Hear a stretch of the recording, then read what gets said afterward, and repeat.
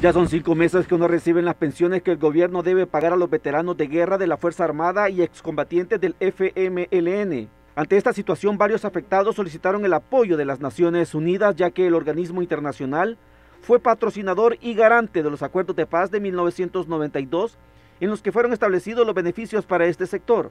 A los 123 mil veteranos no se les ha pagado y hay una ley que tiene que cumplirla, no importa el presidente que sea, pero tiene que cumplir esa ley.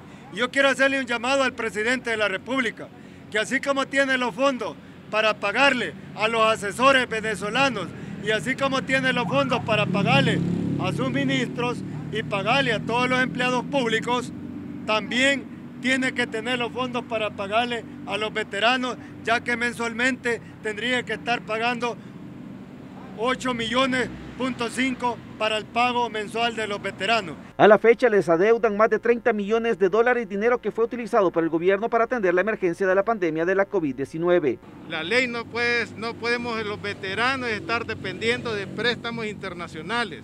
Tenemos que, perdón, tenemos que hacerlo con base a presupuesto.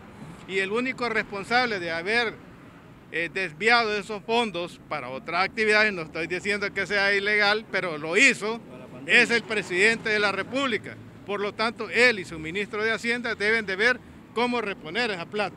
Los veteranos de guerra no descartaron realizar acciones de hecho que obligan al gobierno a depositar el dinero de las pensiones y el pago de las cuotas de por lo menos 7 mil becas de hijos e hijas de los veteranos y excombatientes. Gerardo Hurtado, Mega Noticias 19.